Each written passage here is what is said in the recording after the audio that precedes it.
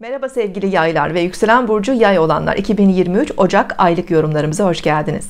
Sevgili yaylar Ocak ayının genel başlıklarını kısaca bir bakalım. Yengeç burcunda Dolunay meydana gelecek Kova burcunda yeni ay doğacak. Ayın ilk yarısında Mars ve Merkür retro hareketini sürdürüyor. Bu nedenle aya biraz yavaş başlıyoruz ama ikinci yarısında retrolar bitiyor.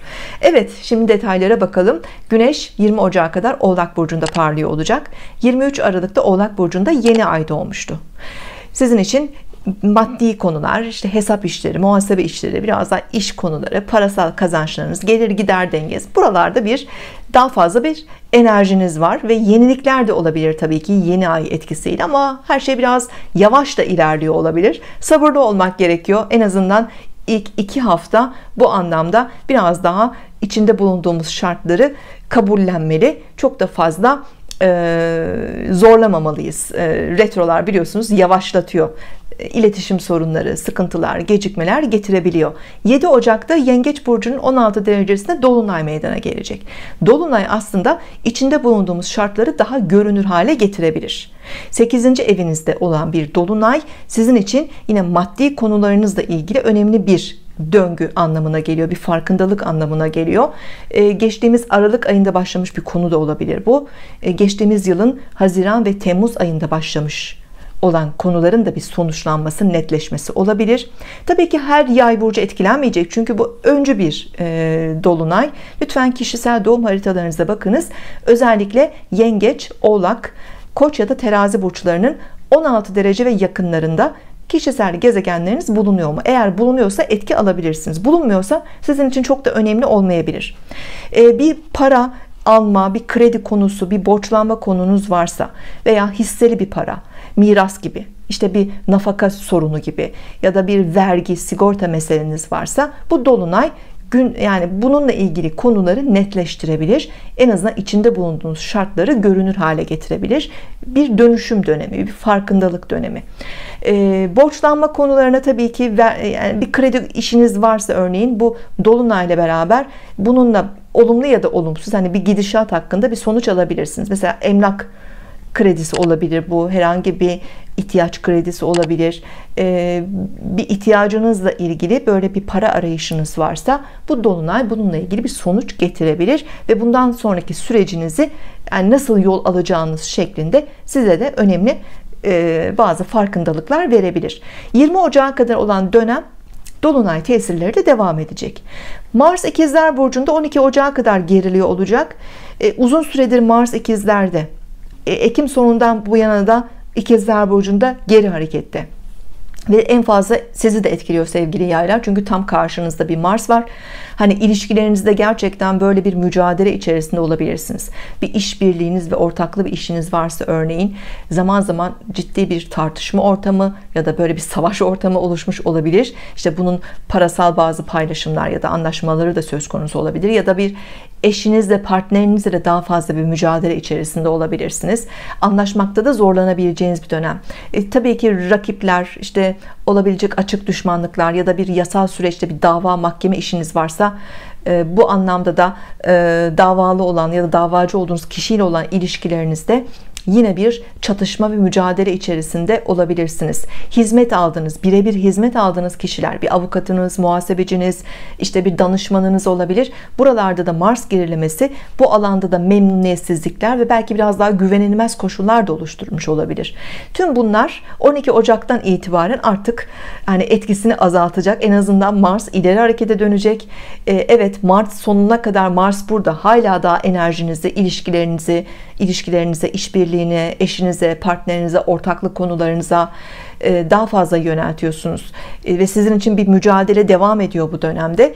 E, ama Mart sonundan itibaren bu etki artık azalacak. En azından Mars'ın ileri harekete dönmesi bu alanda enerjileri kontrol etmenizi ve yani daha rahat daha sağlıklı bir mücadeleyi e, yürütebilmenizi de sağlayabilir. Eşinizde ve partnerinizde bir sorun varsa bir sağlık sorunu olabilir bir enerji düşüklüğü olabilir bir motivasyon problemi olabilir. 12 Ocak'tan itibaren eşinizin partnerinizin de artık enerjisini toplaması gücüne kavuşması motivasyonunun artmasını da bekleyebiliriz. Ve Merkür Oğlak Burcu'nda yeni yıla retro başlıyor.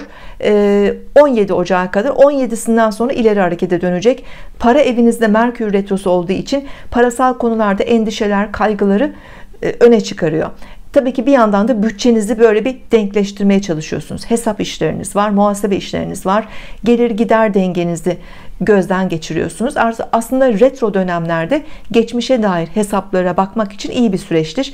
Muhasebe işleriniz olabilir. Gözden kaçırdığınız detayları fark edebilirsiniz. İşte harcamalarınız, gerekli harcamalar, gereksiz harcamalar olabilir. Bazı yatırım planlarınız varsa bunları tekrar bir etüt edebilir, tekrar bir değerlendirebilirsiniz.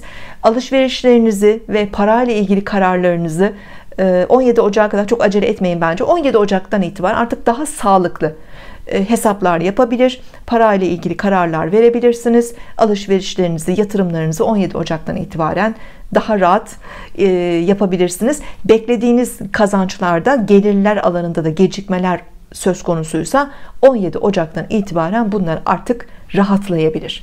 20 Ocak'ta Güneş Kova burcuna geçecek 21 Ocak'ta 1 derece Kova burcunda yeni ay doğuyor. Bu yeni ay yenilik enerjisi taşıyan hani geleceğe daha umutla bakabileceğimiz de yeni ay daha idealist daha cesur enerjiler veriyor bize. Lütfen kişisel doğum haritalarınıza bakınız.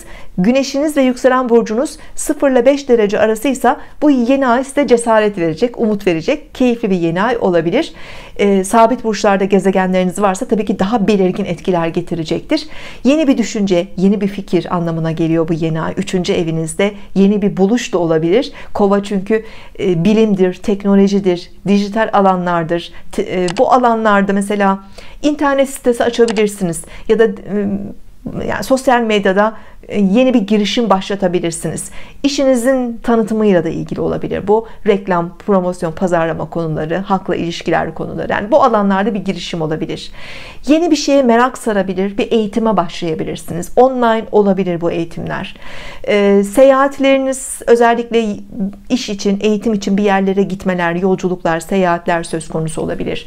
Kardeşlerle ilgili yeni bir adım getiriyor. Mesela kardeşinizin hayatında bir yenilik olabilir komşular çevre ilişkilerinizde bir yenilik olabilir. Yeni bir komşu gelebilir örneğin yaşadığınız yere.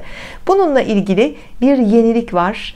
Yakın çevrenizde etkileyebilir, etkileyebilir bu. Ama daha çok sizi düşünce anlamında zihinsel anlamda etkileyecek hayatınızda iletişim eğitim kültür e, alanlarında da ticari hayatınızda da e, bu arada destekleyebilecek bir şey. Mesela online bir işe başlayabilirsiniz. Ee, bir eğitim verebilirsiniz online ee, ya da bir yine böyle bir e, e-ticaret gibi bir girişiminiz olabilir. Sosyal medya üzerinde aktif bir şeyler yapmaya karar verebilirsiniz. Tüm bu alanlardaki açılımları getirebilecek sizin için keyifli bir yeni ay döngüsü olduğunu söyleyebilirim. Hepinize sağlıklı mutlu güzel bir ay dilerim. Hoşçakalın